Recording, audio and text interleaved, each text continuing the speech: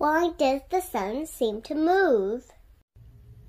The sun seems to move across the sky, but actually it is Earth that is moving. Earth turns on its axis once every day, and because we are standing on it, we move too. Earth turns very slowly. In the morning, the sun gradually comes into view, and the sun seems to rise.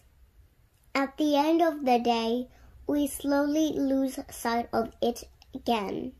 From Earth, the sun looks like it moves across the sky in the daytime and appears to disappear at night.